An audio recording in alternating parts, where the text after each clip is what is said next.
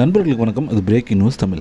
கலைஞரின் கனவில்லும் திட்டத்தில் ஈரோடு மாவட்டத்தில் நாலாயிரம் வீடுகள் அமைத்து தரப்பட உள்ளன என்று மாவட்ட ஆட்சியர் ராஜகோபால சுன்காரா தெரிவிச்சிருக்காரு. ஸோ இதை பற்றி தான் நம்ம இந்த நியூஸில் டீட்டெயிலாக பார்க்க போகிறோம் அது முன்னாடி நம்ம சேனலுக்கு நீங்கள் ஃபஸ்ட் டைம் வந்திருக்கீங்கன்னா மறக்காமல் சப்ஸ்கிரைப் பட்டனை கிளிக் பண்ணிடுங்க ஈரோடு மாவட்டத்தில் முதல்வரின் காலை உணவு திட்டத்தின் கீழே சுமார் நாற்பத்தைந்தாயிரம் மாணவ மாணவிகள் பயனடைந்து வராங்க.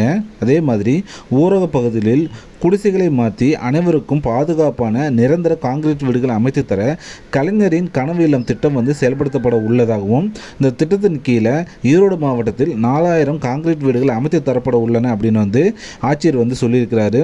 ஸோ பட்டா வைத்திருப்பவர்களுக்கு மூணு புள்ளி ஐம்பது லட்சம் ரூபாய் வந்து வீடுகள் வந்து கட்டிக்கொள்ளலாம்னும் பராமரிப்பு இல்லாமல் இடிஞ்சிருக்கக்கூடிய வீடுகளை எல்லாம் வந்து கொஞ்சம் தேடி கண்டுபிடிச்சி ஒரு ஆறாயிரம் வீடுகளுக்கு வந்து அதை வந்து சரி பண்ணி கொடுக்கறதுக்கான பணிகளும் மேற்கொள்ளப்படும் அப்படின்னு வந்து மாவட்ட ஆட்சியர் வந்து சொல்லியிருக்காரு. ஸோ முகாமில் பார்த்தீங்கன்னா நூற்றி எழுபத்தெட்டு பயனாளிகள் வந்து ஒன்று புள்ளி முப்பத்தொம்பது கோடி ரூபா மதிப்பிலான அரசு நலத்திட்ட உதவிகளை ஆட்சியர் வந்து வழங்கினார்.